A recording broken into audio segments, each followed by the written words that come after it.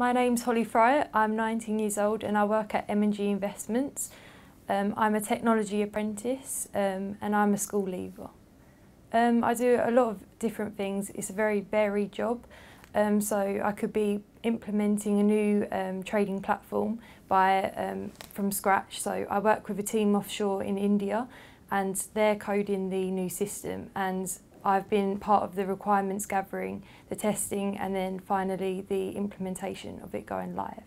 Um, so at 8.30am I'll be in a meeting which is a conference call with um, all the team in India who are coding the new project um, for the trading platform that's going to be implemented and we will talk about what we're doing, we did the day before and we'll talk about um, queries that we have outstanding and future um, things that we're going to do.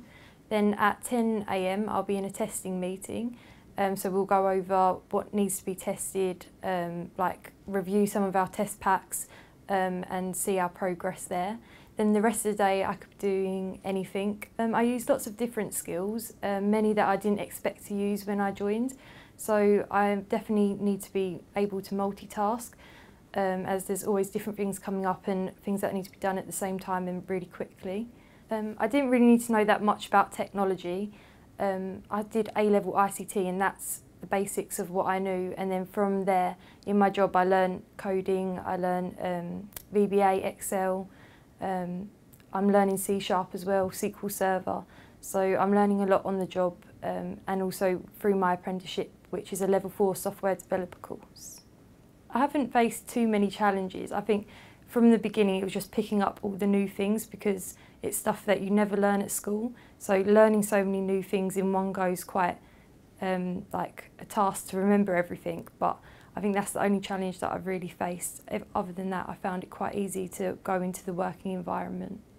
Um, I definitely think that if you're at school and you're looking between university and you're looking at doing a school leaver programme, you should definitely look at the school leave programme because I think everyone's going for a degree nowadays and the school leave programme can offer so much more as well as the education that you need after A levels or whatever you've done after GCSEs.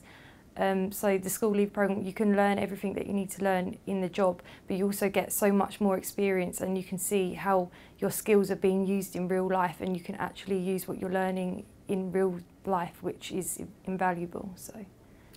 I've received a huge amount of support from my manager, from my team, um, from all the apprenticeship people at M&G and also the Investment 2020 um, crew because they've um, Investment 2020 always host um, social events and chances to network with other trainees from other firms.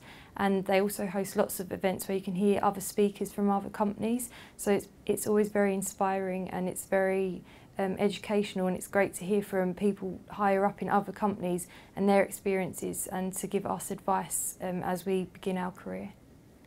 In my experience this has been very rewarding and thoroughly enjoyable. Um, I've enjoyed every minute of it since I've left school and time seems to be flying since I started my job at M&G Investment.